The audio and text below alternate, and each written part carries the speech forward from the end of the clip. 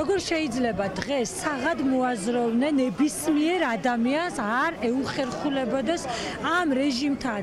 ასოცირება კი არა და საერთოდ ახლოს ყოფნაც კი ეს არის უმძიმესი რასაც მათი მხრიდან ჩვენ განსაკუთრებით ბოლო დღეებში ვისმენთ ეს რუსები, რომლებიც პუტინთან ერთად სინქრონში გვესა პუტინთან ერთად სინქრონში გვეუბნებიან, რომ ევროპაზე ვამბობთ უარს, რომ ცივილიზაციაზე ვამბობთ უარს. ეს არის, არ ვიცი, ეს არის ეროვნული ღალატის თოლფასი. ჩვენ ამას არ დაუშვებთ. ხედავთ, ხდება დღეს.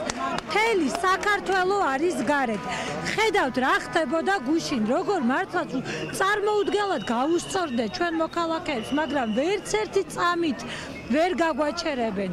ჩვენ აუცილებლად დავაბრუნებთ ჩვენ ქვეყანას ევროპულ გზაზე. კიდევ უფრო მეტი ვიქნებით, კიდევ უფრო ძლიერები ვიქნებით. აი არც ერთი წამით.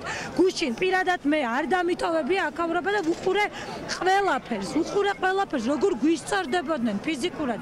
ამით თუ გონიათ რომ შეგვაშინებენ ძალიან ცდებიან. დიდგებით წინ და მე არაერთხელ თქვი და ახლაც მინდა ვთქვა, საკუთარი სიცოცხლის ფასად რომ დამიჯდეს. ჩემი შვილები არასოდეს იცხოვრებენ რუსეთში ვერასოდეს შესრულდება და ასრულდება ბიძინა ივანიშვილის ოცნება რომ საქართველოს გააროს მადლობა